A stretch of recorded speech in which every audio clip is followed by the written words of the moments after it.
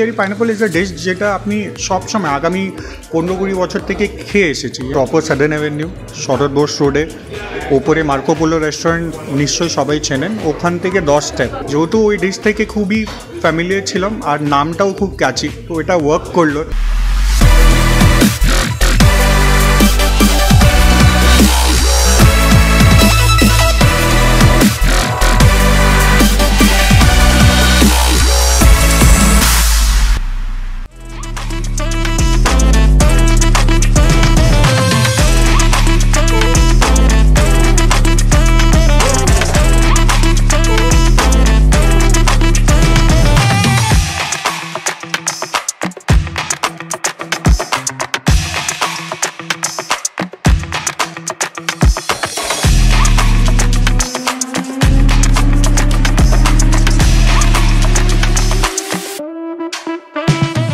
ক্যাফের USP আমি যদি বলতে চাই, এখন কি হচ্ছে না?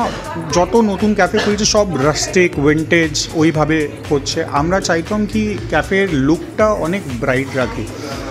Inspired by there a place in Goa call Thalassa cafe বলে একটা জায়গা আছে। ইউরোপিয়ান গ্রিক স্টাইল একদম ব্রাইট কেন? ডিম লাইট কনসেপ্টটা আমি, আমার মনে হচ্ছে ওটা দু বছর, পাঁচ বছর আগের ব্যাপার ছিল। তো একটা এই জিনিসটা আছে কি, যে ও আসছে আমাদের কাছে, ও অ্যাম্বিয়েন্সটা ও ভাইবটা খুবই পজিটিভ পাচ্ছে। মেনু বলতে গেলে আমাদের কাছে স্ট্রিট স্টাইল থেকে কন্টিনেন্টাল ইটালিয়ান মেক্সিকান আর সব যেটা আপনি এতদিন খেয়ে এসেছেন, ওটা মডিফাই করে আছে। মানে that is not very regular what you'll always get mocktails আর সব কিছু। তো সেই একটা ব্যাপার। দেখুন, আমাদের কোনো ইন্টিরিয়ার ডিজাইনার না। আমরা অনেক জায়গা ঘুরেছি মানে বাচ্চাবেলা থেকে অনেক জায়গা ঘুরেছি এক্সপিরিয়েন্স নিয়েছি, জায়গা মাথায় রেজিস্টার করেছি, ওই সব।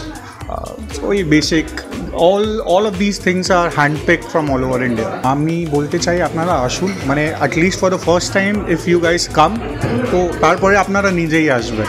না আপনি যদি একটা এক্সপিরিয়েন্স ভাবে আসুন if you love good food if you love bright good places positive vibes তো নিশ্চয়ই আপনাকে একবার আসা আসা উচিত।